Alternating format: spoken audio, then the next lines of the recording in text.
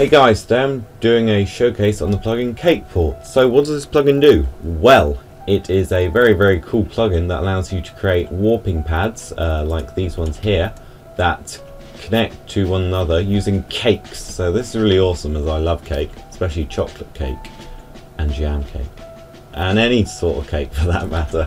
Anyway, so you, the main command is forward slash add cake, but it says you need to um, select cake. So you get and you right click the cake. Now you do forward slash add cake and then the name. So let's call it blue because of this colour.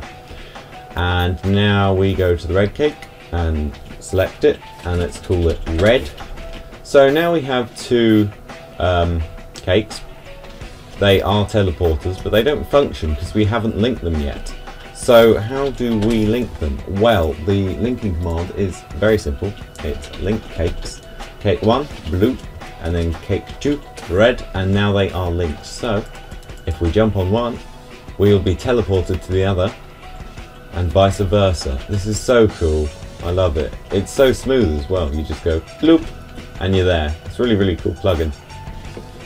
That would be very useful for uh, many servers, really because you could have a hole full of cakes and when people jump down uh, they get teleported somewhere maybe a lobby or an arena or something like that.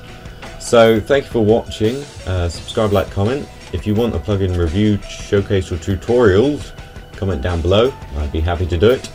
And with that I'm off. Peace